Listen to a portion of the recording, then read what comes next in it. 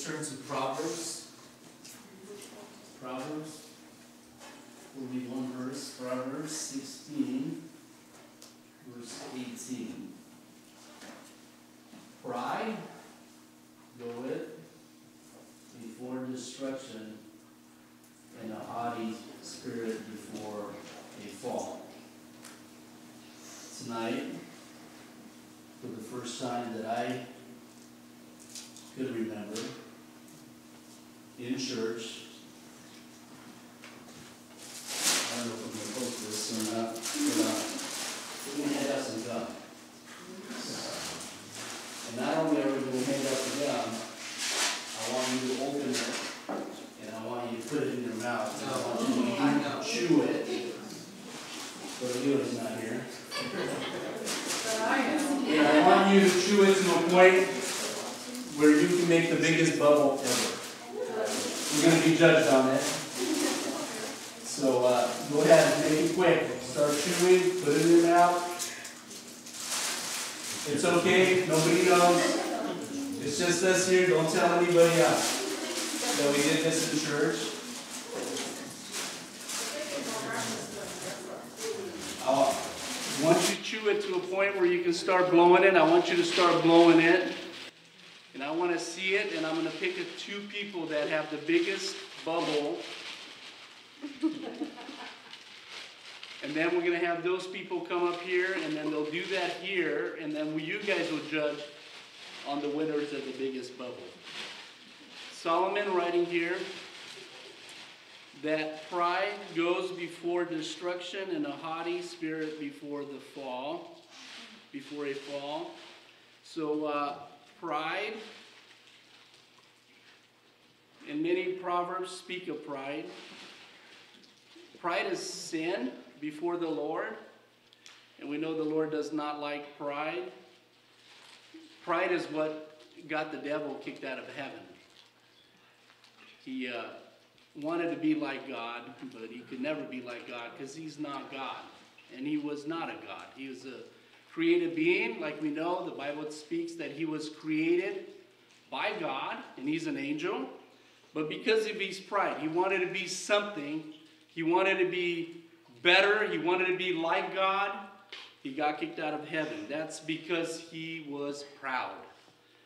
He, uh, he, he wanted to be just like the Lord, and he, that was impossible. It's better to be humble, the Bible teaches, poor and humble, than proud and rich. It's better to be humble and poor than to share the plunder, the Bible says, with the proud. To choose pride is to set one up for a fall. And remember, we, we choose. Pride, in this context of this verse, refers to an arrogant attitude. Pride is to think highly of yourself, is to think that you are better than someone else, is to think that you don't need God. That is pride. Pride is to think that you do things better than somebody else, better than your friends. You read better. You, uh, you ride your bike better than everybody else.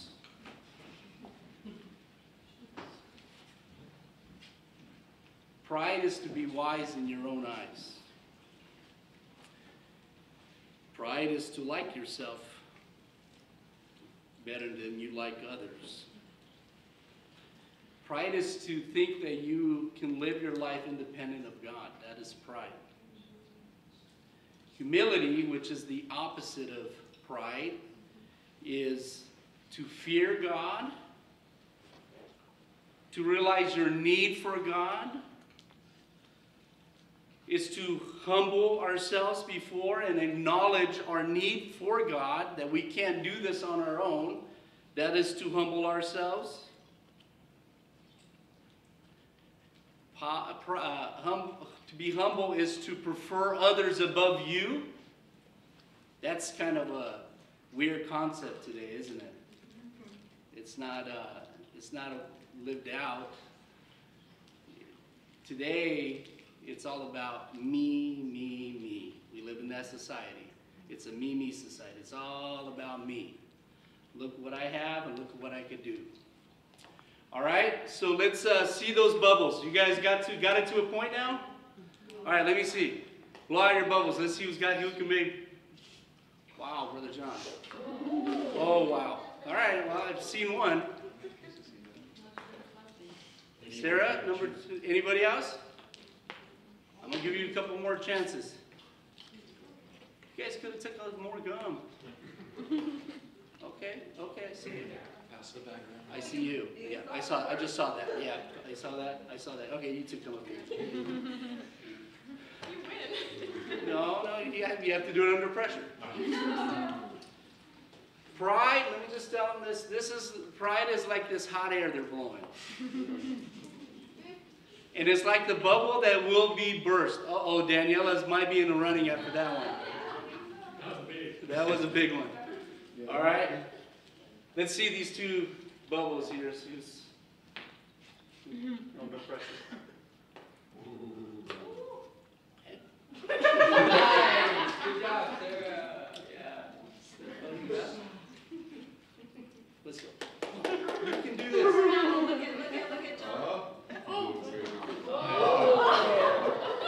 That's like pride right there. It's a lot of air, right? Yeah, a lot of air, a lot of air. Who's the winner? Whoa. All right, they're both winners. He gets to pick because he won. He's a nerd. And you're a milk dud. All right. So we can relate to that, right? That's like pride. It's a lot of hot air. If you want to get rid of your gum, there's some tissues around. We could use Brother Leroy right now. But uh, that's like pride right there. Do you uh, know of a story that could relate to this in the Bible? Remember the rich young ruler? In Matthew 19, the Bible tells us that one day Jesus was walking, and this young man, he was young, he was rich, and he was a ruler. And the Bible says that he came to Jesus and he sought him out, and he was very polite on top of that because he called Jesus master. And uh, and he wanted to know what is it going to take to make heaven his home. That's a good thing, right? And you know, Jesus didn't look down on him because he was young. Jesus didn't look down on him because he was rich. And Jesus didn't look down on him because he was a ruler, he was an authority. Maybe he had some business and he was in charge. But we don't see anywhere in the Bible where Jesus looked down upon him because of these things.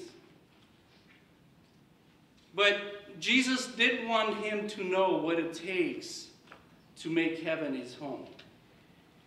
And Jesus began to pry him. And, and, and he, he told him of six different laws that he was to keep out of the ten. And this young man said, Lord, I have kept all of these laws. I keep these laws, including loving your neighbor. That's pretty impressive, right? You would, at this point of the story, you would say, this young man, he's a good young man. There's nothing wrong with him. He, he's done all these things right, and he, he, just because he's rich, just because he's good looking, just because he's a boss, does that make you a bad person? Can you be all those things and still make it to heaven? Can you? I think so. I think there's going to be young people in heaven that are rich, that were bosses, were in, in charge and control, told people what to do. And that's what this young man was doing. And, and Jesus, again, he had no problem with all of this. And then on top of that, he kept the laws that Jesus asked him if you are keeping these laws. And he said, Of course. And I don't, I don't know if that was in a prideful way that he said that. But of, of course, I'm, I'm, I've kept all of these as a young man. I'm keeping all these laws. So far, so good, right? But you know what? There's always something that people get in the way from fully serving the Lord. and, and you see it in this young man's life. And if you if you were to ask somebody, maybe they, they know the gospel, maybe they've been around the gospel, maybe they've even experienced and they've been saved, but now they're like we heard lukewarm or backslidden, and and and you ask them, what is it? Why aren't you serving the Lord? And there's always something. They, they might not tell you, but there's always this something that's hindering them, holding them up, in the way. And, Jesus knows all things. Jesus knew this young man's heart. And he got to the heart of the problem with him. And, and he told them, okay, so far so good. I have nothing against you. Everything's good, except he told them to go do something. And here's that one thing that could get in the way. And you know what that one thing is that maybe it's hindering you. Look, it's a good question to ask the Lord what is it going to take for us to make heaven our home? I want to know, don't you? We, we want to know what is it going to take to make heaven our home? And, and thank the Lord, the Bible tells us that what we need to do, we must be born again. We need to know that we are saved, that our names are written in the Lamb's book of life. That's where it begins. But we want to know that. That's a good, honest question to ask. We need to know, and we need to answer that question. And this young man, Jesus told him to go do one thing. He did all these things right. Can you imagine doing a hundred things right, but yet doing one thing that was wrong? That would be good with your mom and dad, right? I mean, if my kids did a hundred things right and one thing wrong, think I can live with that. Depends on what that one wrong thing is. But just in generally speaking. But Jesus, he gets right to where we live. You know that? He, he does. He, know, he knows. He knows how to get right to where our heart is at. He says this to this young man If thou wilt be perfect, complete, it's all good. If, if you say everything's good, then he tells him this. Can you believe this? Does somebody know? Savannah, you know what he told him? No? Does anybody else? Do you know, Lance, what he told this young man? Uh, forgot. Go. Sell. Sell. That thou hast. All that thou hast. Ooh and give to the poor, and thou shalt have treasure in heaven, and come follow me. Mmm. There's that one thing. There's that one thing, that pride. He could not humble himself. Here, Jesus, so far, he was perfect, he was complete, everything was good. You're going to make it to heaven.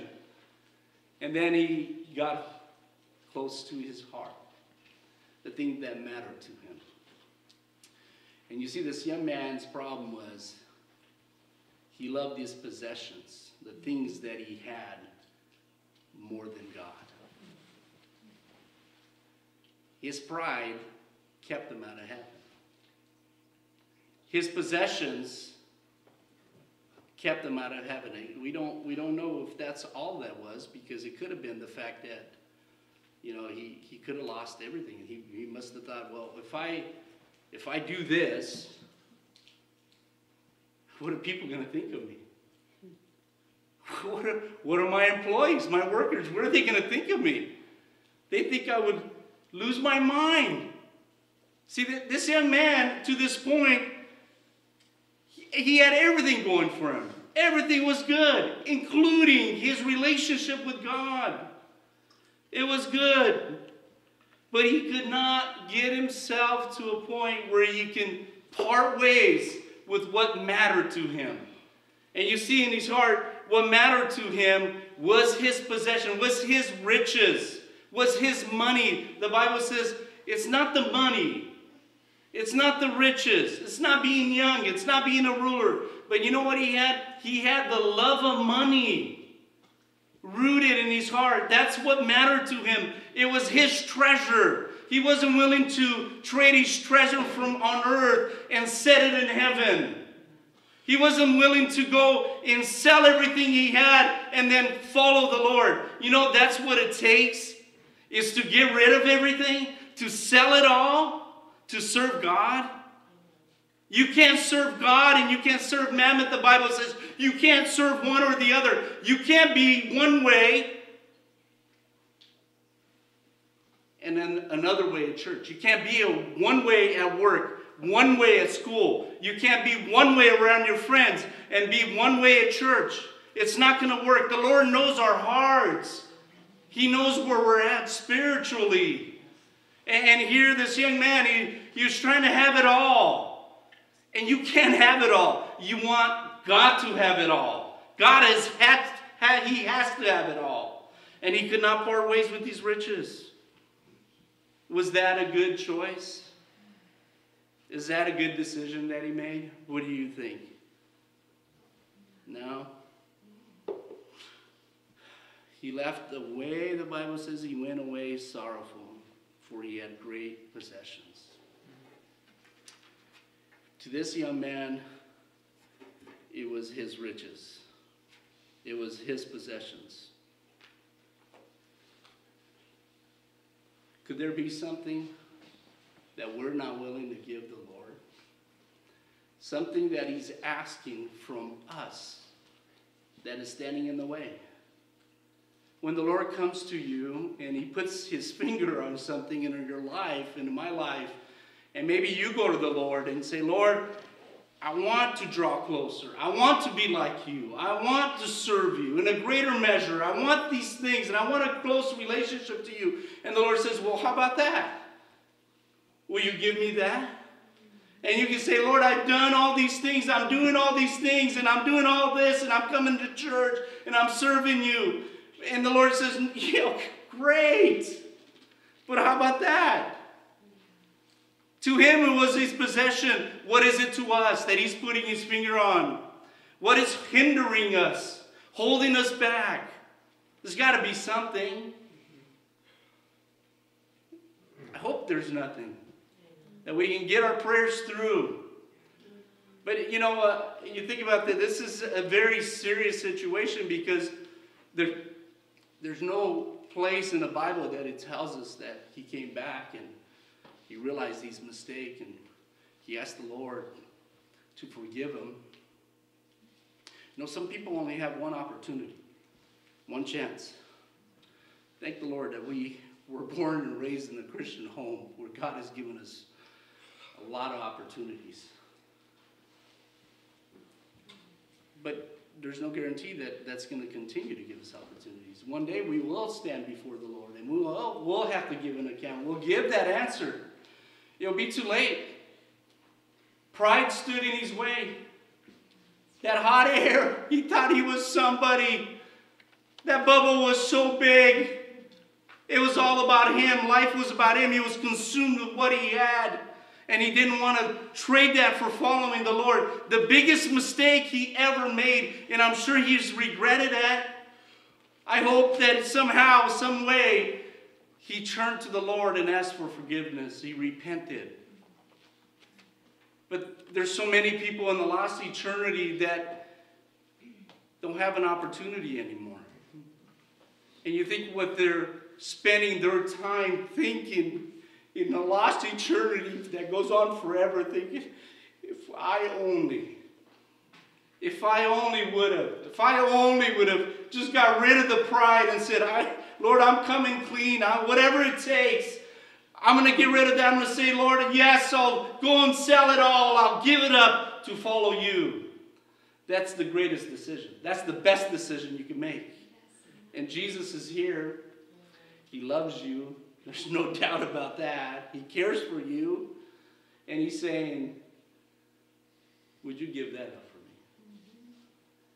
for me? Would you just lay that aside? Whatever it is.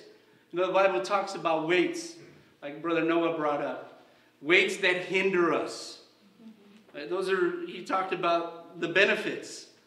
But you know, there's weights like that that do hinder us.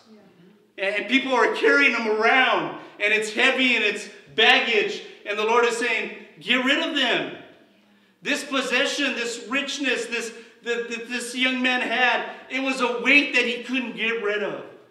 And yet he had an opportunity. Jesus, the Bible says in another place, as he came and fell on him, Jesus loved on him. When he, Jesus looks at us, he loves on us. No matter where we're at, he loves us. God help us to say yes to the Lord tonight. Get rid of it, whatever it is, and say, Lord, here it is. Think if he would have said, Yeah, absolutely. I'm going to go, I'm going to sell, I'm going to give to the poor, and I'm going to come follow you. That's the greatest decision he could have made. And we're confronted with that decision all the time. It's before us all the time. It's every time we come to church, we hear the gospel message go forth. It's challenging, yes, I know. It's for all of us, it's His word. God help us to make that decision to follow Him. We're going to sing 205. The Lord's speaking to you, and He's putting His finger on something like He does to me, and I know He does to you. Just say, Yes, Lord.